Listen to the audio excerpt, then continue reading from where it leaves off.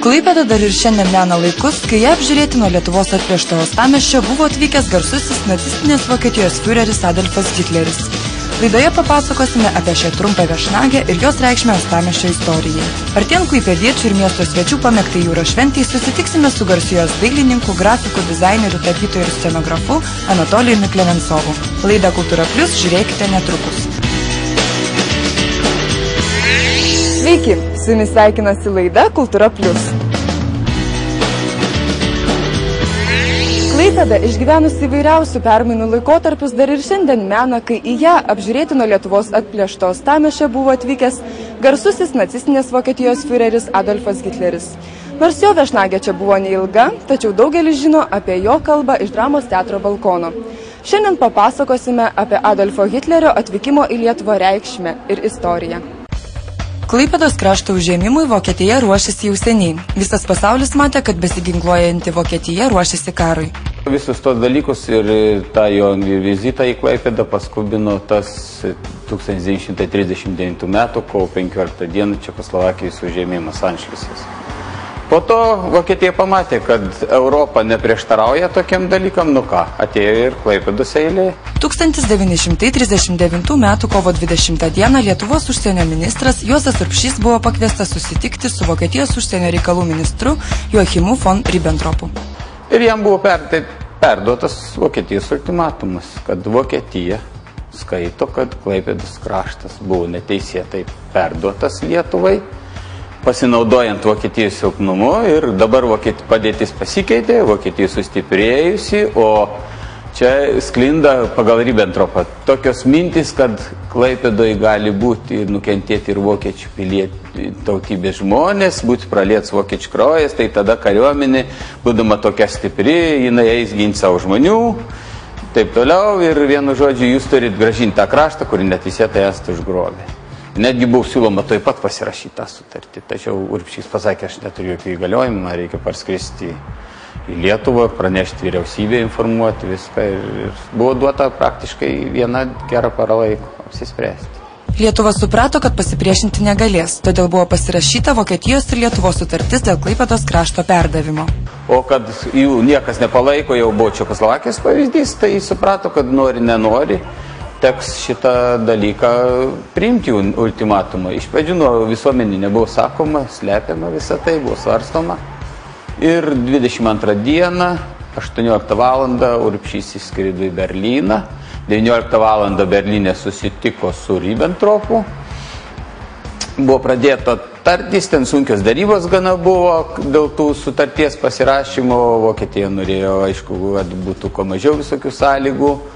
Nu ir galų gale 22 dieną, 23 valandą, 55 minutės, be 5.12 buvo pasirašyta šita sutartis. Dar tuomet, kai sutartis nebuvo pasirašyta, prie Lietuvos sienos jau buvo sutelkta vokiečių kariuomenė.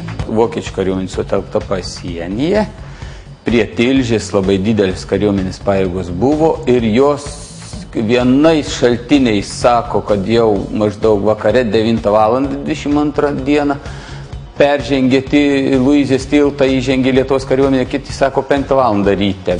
Klaipėdoje visus reikalus tvarkė vokiečių gestapas, nors per daug tvarkos ostamistė prižiūrėti ir nereikėjo. Miestiečiai Adolfo Hitlerio atžvilgių buvo nusiteikę tolerantiškai. Tuo metu vokiečiams Hitleris labai daug ką davė.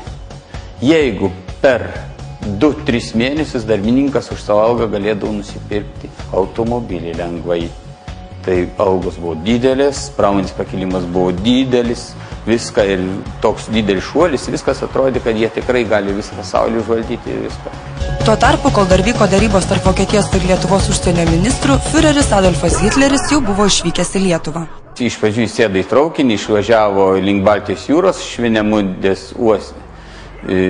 Uoste jisai įsėdo į laivą ir jis jau plaukė pakeliui į Klaipėdą nors sutartis dar nebuvo pasirašyta. Tačiau buvo toks pasitikėjimas didelis, kad jau čia mes Lietuvai pasakėm, jie niekur nedings bus pasirašyti. Ir jisai tą pranešimą, kad sutartis pasirašyta, gavo 1 val. 30 minučių naktį, jau 23 dieną.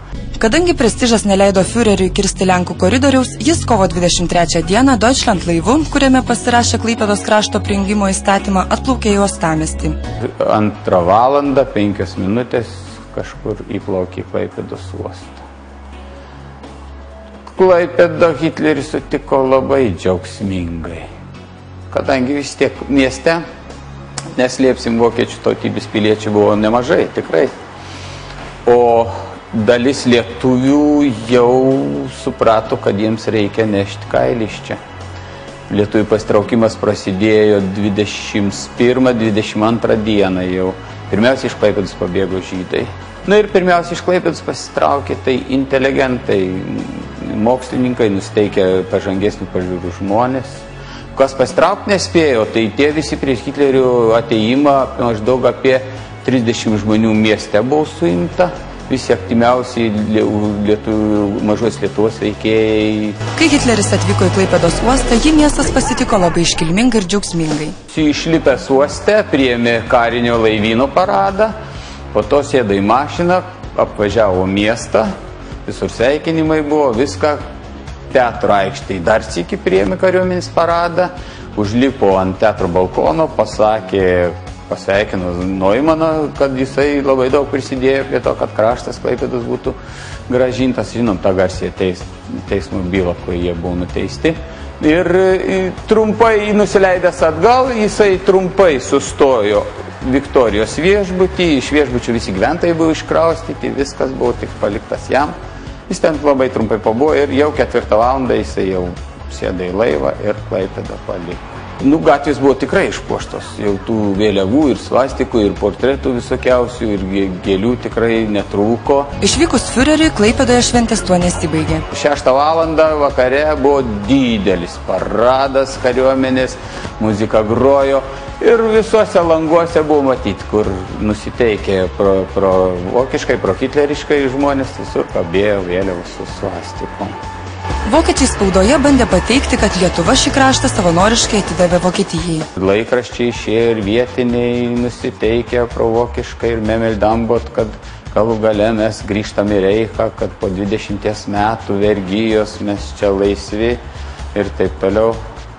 Nors nežinojo Klaipėda. Na, aišku, nieks į priekį stojus negali žinoti, kas jo laukia, kad šitie visi žmoneliai, kurie džiaugiasi, paskui Nedaug laiko prabėgus apsipylė ašarom ir gavo paklikti šitą kraštą.